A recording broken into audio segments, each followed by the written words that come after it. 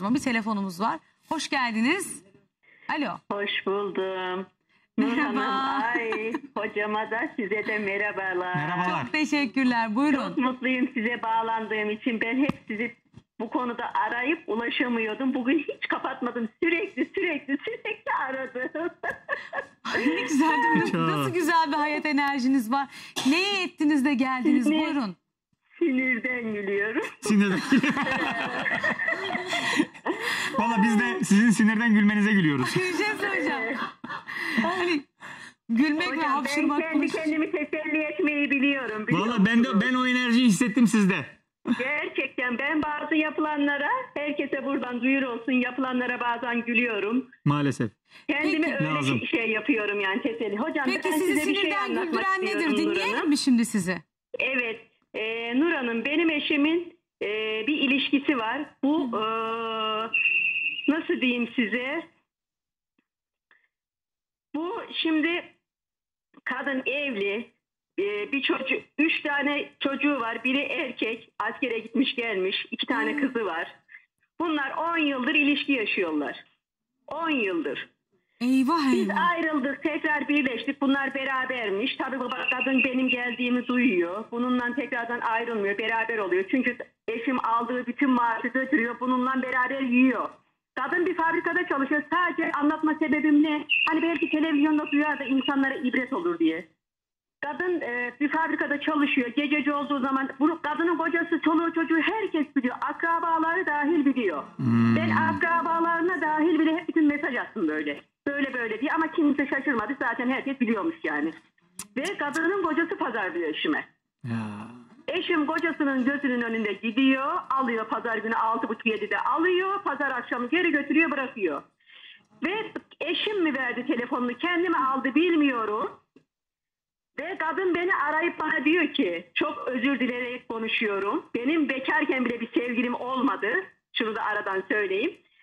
Ee, e, kadın beni arayıp diyor ki senin varlığını bil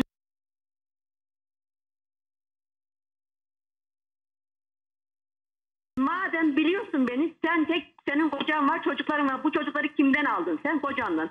Birini yapan hepsini yapar senin başka ilişkin yok mu? Ona bir şey diyemem diyor. Evleneceğim mi kocamla ayrılayım? Yok diyor. Kadın eşime kocanı bırak karını bırak diyor bir daha demiyor. Ve eşim eve bir ekmek parasıysa getirmiyor. Adam yuha tövbe haşa estağfurullah yukarıda Allah aşağıda kadın. Derse o ya adam yatmıyor elinde telefon. Kadın açık resimlerini çekip atıyor buna. Sabaha kadar kadın fabrikada bu nasıl bir fabrika bilmiyorum ama kadın sabaha kadar da bununla konuşuyor. Akşama kadar da bununla konuşuyor. Ve bunu biliyor musun aslında diyorum ya. Gerçekten bu fuhuşun yasak olduğunu, evli kadının böyle bir şey yapamayacağını artık o kadar bir yaygın ki zaten evlilik denen bir şey kalmadı ya. Ben bunu çevremde de görüyorum. Evlilik denen bir şey yok ya. Öyle bir şey kalmadı yani. Çevrede duyuyorum kimse duysam aynı şeyi yapıyor. Yani gerçekten devlet buna bir dur demeli ya. Nasıl fuhuş yasağı kalksın? Evine bakmıyorsa bilmiyorum ya. Kadın da bunu bana böyle söyleyip çoluğu çocuğu biliyorsa ya ona dedim senin oğlun askerlik yapmış. İnsan askerliği yap- yapıyor namusunu beklemek için öyle değil mi? Ama böylelerinde namus olmadığı için diyecek bir şey yok. Yani size diyeceğim yani belki televizyonda konuşurum da bu da dinler diye belki utanır diye ama zannetmiyorum 10 senedir utanmamış daha öncesini de bilemiyorum. Yani insan evine helal ekmek götürür ya. E önce eşime bir mesaj atıyor. Alo aşkım benim telefonum e, saat 12'de kapanacak. Borcunu ödeyemedim. Aa tamam tamam ben söylememiş olayım eşim. Aa saçmalama. Öyle şey olur mu? Ben akşama hemen öderim. Ya benim telefon faturam 22 milyon ya. Benim telefon faturamı ödemiyor da. Kadının 150 milyon faturasını ödüyor ya. Düşünebiliyor musunuz? Biz de kıza bir tost ekmeği getir diyorum da onu getirmiyor eve ya. Peki kadına götürüyor gelinlik giydiriyor. Güya kadın zorla evlenmiş de kocasıyla. Gelinlik giymemiş, nişanlılık giydiriyor, yüzük takıyor. Evimizde de iki kesen, bir kömür sobası var, bir de halımız var. Başka hiçbir şeyimiz yok. Evde bütün kabı kaşığı da o kadına laf söyledim diye kabı kaşığı bütün hep vurdu kız 3-4 tane de tabağımız var. Bu kadar. Başka Peki. hiçbir şeyimiz yok. Şimdi sizin anlattıklarınız, gerçi burada isim vermedi, vermedik ama Evet, sizin evet. iddialarınız Yani dudak uçurtan cinsten. Evet. Evet. Şimdi ben Gerçekten o adama da demeyeceğim. Eşiniz olan sözde kocanıza. Sen nasıl bir adamsın? Nasıl bir ahlak yoksunusun? Hem çocuğunu hem eşini, çocuklarını hem de eşini mağdur ediyorsun. Peki size bir tek sorum olacak sonra da hocama bırakacağım sözü. evet buyurun dinliyorum. Neden çekiyorsunuz bu adamı hala? Neden çekiyorum? Emekli oldum. Allah'ıma şükürler olsun. Emekli oldum. Bir ev aldım. Onu ödeyip evime gitmek istiyorum. Kimseye yük olmak. Bir kere ben ailemin yanına gittim. Hata ettim, geri döndüm. Tekrar gidip annem babam yaşlı onları üzmek istemiyorum. Taşınmak istiyorum. Kimsenin yanına sığıntı da olmak istemiyorum. Üzülmek de istemiyorum. Evime gidip Allah can sağlığı verirse evimde oturmak istiyorum. Bir sene bir kredim kaldı. Emeklimi hani alamazsam ben geçinemem. Bir kızım var onu da bir yere bırakıp işe gidemem. Bir sene çekmek zorundayım. Sadece tek beklediğim bu. Başka hiçbir şey yok. Adamın da zaten bize bir şeysi yok yani. Bir faydası yok. Sadece şu evde oturuyoruz yani o. Başka bir şey yok. Yani bu nasıl bir ahlaksızlık ya? Hocam ne Evet. diyeceksiniz? Yani Şimdi- öbür taraftaki kadına da bir kadın bir kadına bunu yapar mı? Bir ahlaksız ya. Şimdi şöyle ama diğer taraf bak herkes biliyor. Bu ne? Adamı sömürüyorlar burada. Bak şimdi bilinçli, profesyonel anlamda sömürüyorlar.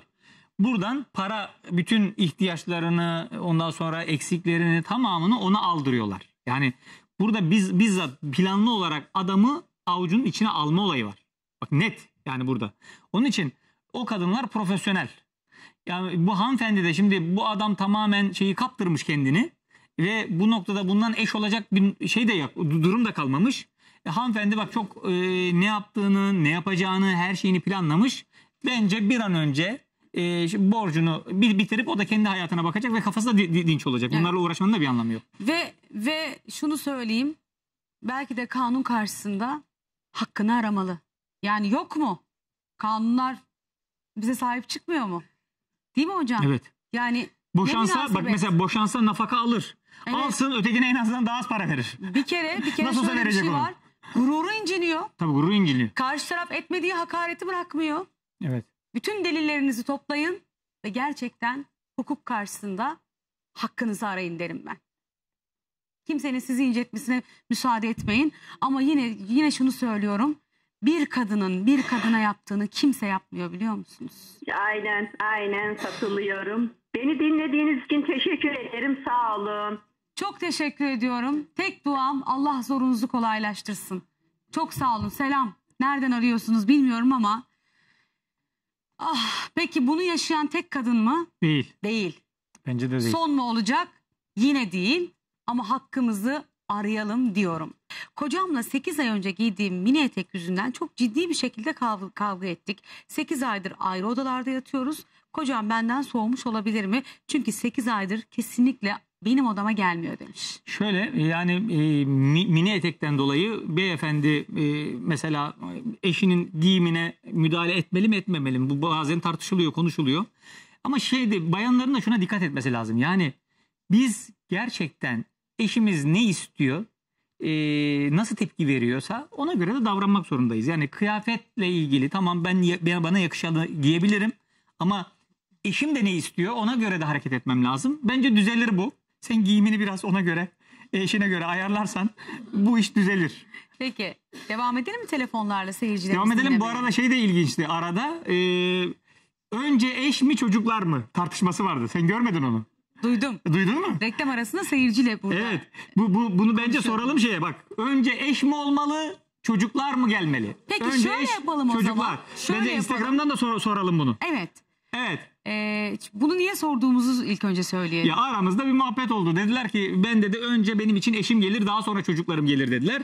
Sizi- Önce- Sizin için dediler. Peki Ben söyledim mi? biraz sonra sizin fikrinizi de alacağız. Tamam. Bir te- mikrofonu uzatabilir miyiz hemen buraya? Evet. Seyirci Bak mikrofon var.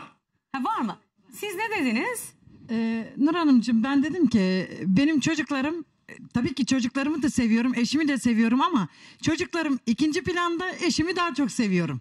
Bu Yani- kötü mü değil Kötü mü iyi mi? Şimdi onun Yani. hepsini konuşacağız ama önce hayatta benim eşim gelir diyorsunuz. Sonra Evet, çocuklarım evet. gelir. Bunun aksini düşünen seyircimiz var mı stüdyomuzda?